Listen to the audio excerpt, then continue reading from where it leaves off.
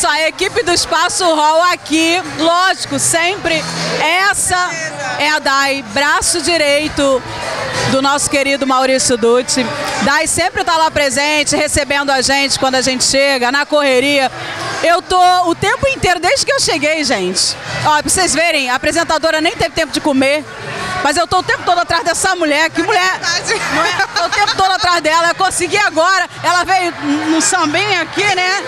Com duas bebidas que ela tá levando pra alguém que eu não sei quem. Olha só, você vai, você vai que- vai queimar meu filme, que eu cheguei aqui com dois copos. Não, ela chegou com dois. Aí eu vou sair com fama de bêbada.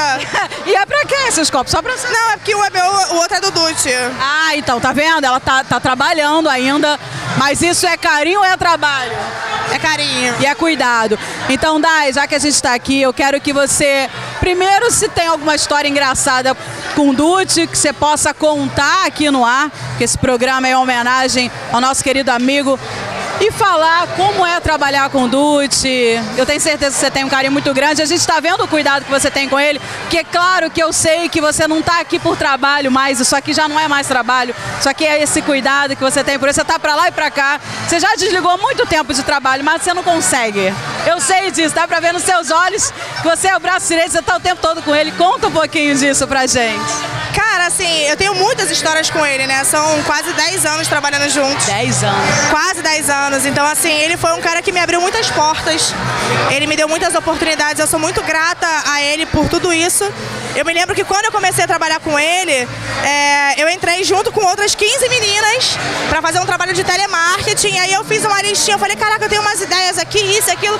Fiz uma listinha, cheguei pra ele e falei, cara, você pode me ouvir? Na Competência sua também, né? na época, a gente trabalhava numa empresa que ele era diretor de marketing, eu era uma simples assistente, assim. E aí eu cheguei pra ele e falei, cara, eu tenho essas ideias aqui, você pode me ouvir? Ele falou, claro. Me ouviu, Te deu oportunidade. me deu oportunidade, a empresa, enfim, acabou. Ele me levou para uma agência de marketing que ele tinha. E aí, de lá eu saí, fui para uma outra empresa. Do nada ele me liga.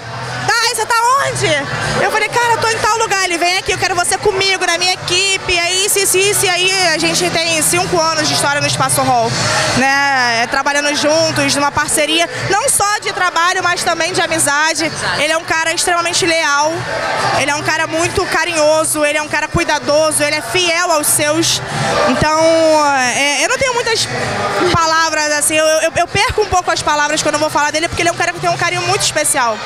Né? Ele é meu chefe, mas é meu amigo também.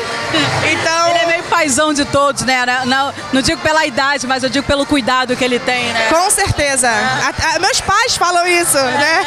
Meus pais falam, cara, é- ele é seu pai, ele faz um papel de paizão, né? Então, assim, ele é um cara muito, muito, muito especial na minha vida. Eu sou muito grata a ele por todas as oportunidades que ele me deu, por todas as portas que ele me abriu.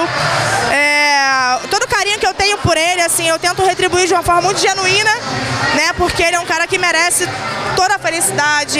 Ele é um cara, graças a Deus, muito abençoado. A gente consegue ver pelas pessoas que Não estão para, aqui. você vê, dá, eu tô falando aqui, a galera entra, sai, entra e sai, a festa nunca tá vazia, gente. Caramba, desde que começou de manhã, já, já tá noite, a festa não tá vazia nunca, não para. É incrível.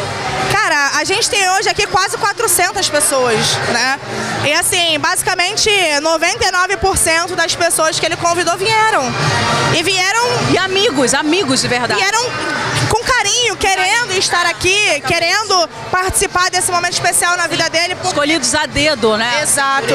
E, e, assim, é, é engraçado porque ele é um cara que ele tem um leque de muitas opções, né? Ele pode chamar duas mil pessoas que vai lotar, mas ele, ele escolhe a Escolheu, dedo. escolheu. Cada convidado, ele tem maior carinho quando ele vai mandar mensagem para as pessoas convidando. Quando a gente foi fazer a arte do convite desse evento, por exemplo, é, ele teve o maior carinho. Poxa, é, faz isso aqui, faz aquilo, para a pessoa se sentir especial e tal. E ele mandou um a um, entendeu? É, dando importância a cada pessoa que tá aqui hoje. Então, ele tem muito carinho por todos que estão aqui. Eu tenho certeza que ele é um cara muito abençoado. Eu torço muito pela felicidade, pelo sucesso dele, principalmente pela felicidade, porque ele é um cara que, pô, na minha vida, principalmente, ele foi muito especial, continua sendo e eu tenho certeza que vai ser aí por muitos anos. Ah, que lindo! A gente consegue ver a emoção nos seus olhos. Parabéns para você também pela sua competência, porque eu tenho certeza também que ele não ia te ligar se você fosse, não fosse competente. A gente consegue ver também como você corre para um lado para o outro lá no Espaço Hall, quando eu vou trabalhar lá, que ele abre as portas. também. Né? Quando vai curtir também. Eu vou curtir também, eu vejo você trabalhando. Então, parabéns também pelo teu trabalho. Obrigada. E Maurício Dutti, receba, meu querido.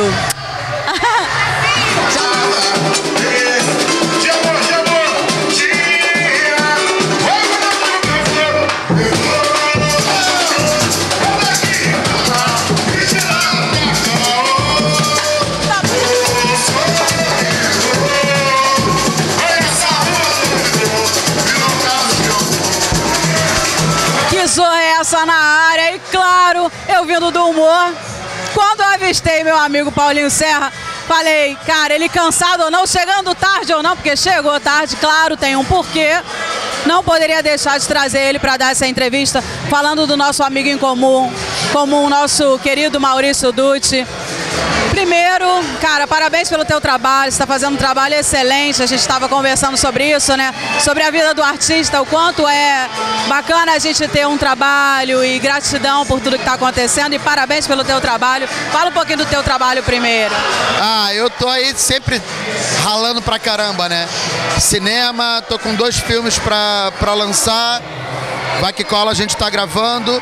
E agora eu mudei de lugar o meu comedy club. Eu tinha um comedy club no Hospital, agora eu tô na Barra, no Barra Shopping. Vamos lá cobrir? Podemos ir lá cobrir? Vamos. Lógico, claro.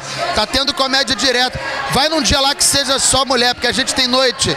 Fechou, já é, já é. Noite só de mulher, noite só de galera que mora em favela, então papo de favela. Tem a noite que é só preto, só professor, é, noite de iniciantes, comediantes já consagrados, tentando trazer essa cultura da comédia para o Rio de Janeiro. São Paulo já tem mais de 30 comedy club.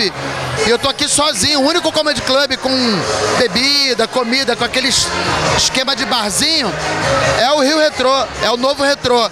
Aí tem também o Da Vinci, que é um outro comedy, e o Casa da Comédia Carioca. Então a gente tá com bastante esforço trazendo a comédia pro Rio de Janeiro. Cara, isso é muito legal, já é, ó, fechado, hein, diretor? Vamos lá cobrir com o que zorra é essa e a gente faz uma brincadeira no palco, entrevista uma galera, vamos fazer uma parada maneira? É uma zona, vamos fazer uma Fazer uma zorra geral. pra galera saber que zona é essa. É isso, fechou, tá fechado já. E aqui hoje, cara, a segunda, é, segunda feijoada que o Maurício Dutti está fazendo, comemorando o aniversário dele. E o que eu tava conversando o dia inteiro aqui, falando com a galera. Primeiro falar do Maurício, dispensa comentários, o cara realmente é excepcional, um amigo, um cara que cresceu muito. E falar do carinho que eu sei que vocês têm. Você estava trabalhando, você estava comentando aqui, veio mesmo assim, super cansado. Fala do carinho que você tem, sua amizade com ele. Eu acho que se eu não viesse, ia dar ruim. Porque ano passado eu não consegui vir por causa de trabalho e ele falou, pô, você falou que ia tal. Só que ele, diferente dos outros cariocas, né? Ele quer que você venha mesmo. Ele faz questão mesmo, ele convida mesmo. Maurício é muito legal ver isso, porque às vezes no Rio de Janeiro a pessoa ah, vai lá, se tu não for, tudo bem. A pessoa às vezes convidou, ela nem faz a festa. Esquece de avisar que não vai ter mais. Aqui não, cheguei, Faz questão. Pô, pegou o microfone, me anunciou uma festa e é muito legal. Isso. Isso. Aquece o coração. o coração, porque o momento onde todo mundo é tão superficial. Maurício é um cara que olha no olho e fala com você de amigo para amigo. Isso é muito bom. Verdade, né? E o que, é que você deseja pra ele, é, ele trazendo esse lance de volta, né? Porque já existia isso na década de 90, de trazer essa coisa do- do- de reunir essa galera, né? Fazer um network e ao mesmo tempo trazer a amizade no dia do aniversário e tal. O que, que você deseja pra ele na passagem dele nesse universo e ele como pessoa também? É, eu acho que ele nunca. Desejo para que ele não fique quieto. Porque o inquieto é que constrói as coisas. A inquietude do, do marasmo, a pessoa que não, que não consegue ficar parada, ela produz muita coisa. O Maurício pô, consegue fazer isso como ninguém. Então que ele continue produzindo e em breve tem umas novidades. Ele está querendo fazer um grande festival de comédia lá no Espaço Hall e se Deus quiser vai sair do papel. Imagina uma tarde inteira de domingo curtindo os melhores comediantes do Brasil. Pensa nisso. É sobre isso, olha, nós estaremos lá. Então, Maurício Dutti, receba, meu amigo.